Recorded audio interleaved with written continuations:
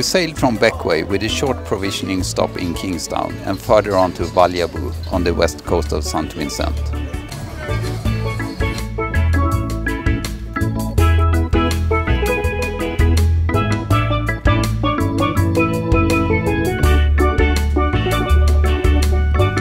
We haven't yet seen any lobster when we've been diving, so one day when a fisherman offered us it, we couldn't resist and bought some. The taste was so delicious, so we forgot to film it. You have to imagine sitting in the sunset eating grilled lobster.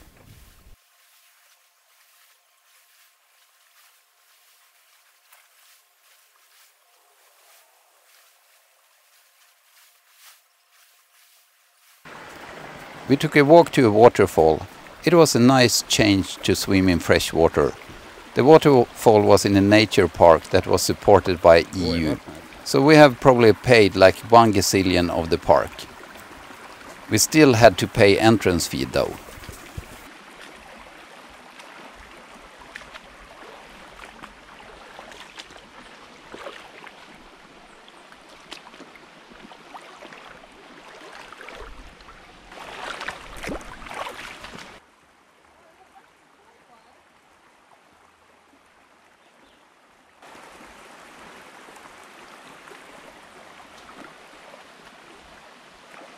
Det er et riktig tre, det der.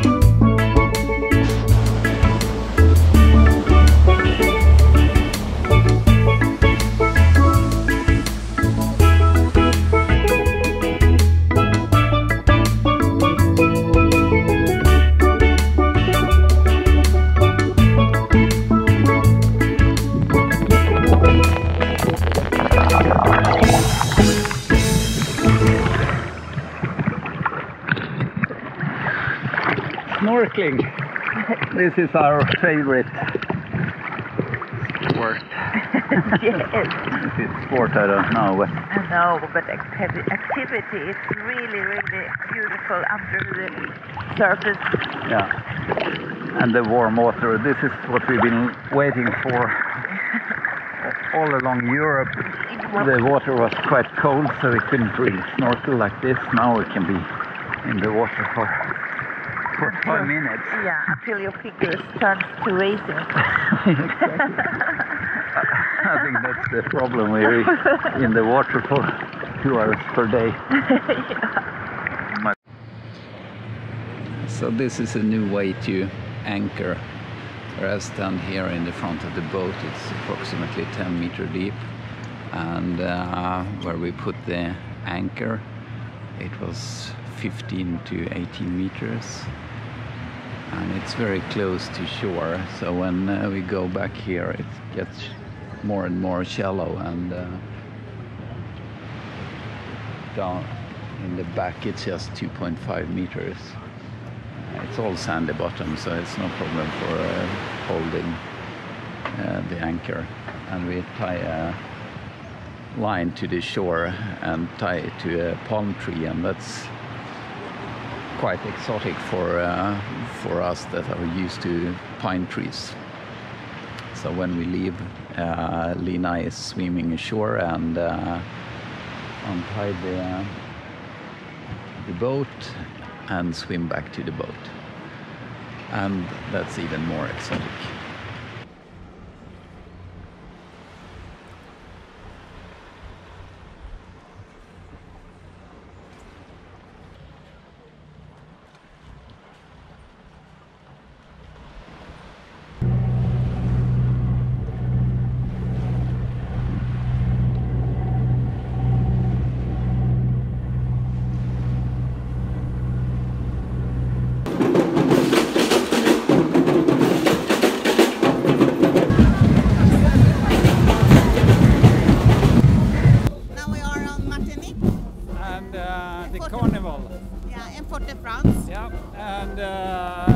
About this uh, carnival two days ago, and uh, we were in Saint Vincent, so it was stressful. We skipped uh, Saint Lucia, and now to rush to this. And we got here quite early,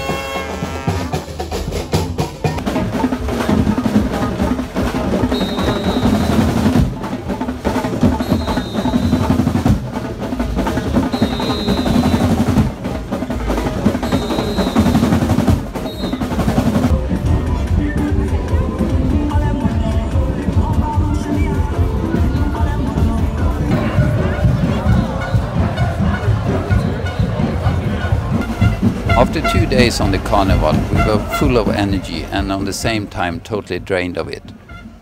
It was a great experience, full of music, happiness, and bodies. Even though the whole city was moving, it was hard to be a part of it. We were more like spectators.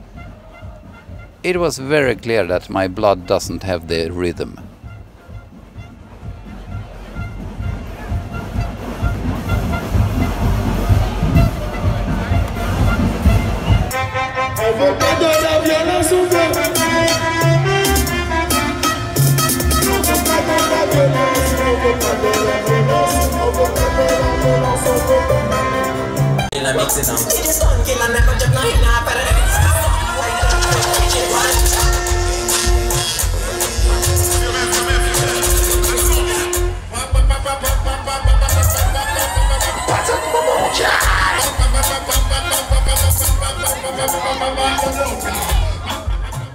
Sometimes you can blame others when shit happens. But today we blame no one because we got our own, fishing line into the propeller. We forgot to take it up when we started to anchor. So this is a piece of art. But luckily it doesn't seem to be too bad. And we actually rescued our favorite thing. that's good. So now I'm going to dive down again, see if we need to uh, see if I get everything loose or if I have to take away the anodes before we can cut it off. Okay, see you later.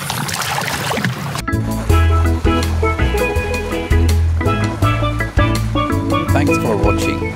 Next episode will be about boating tips and tricks that we have learned along the way.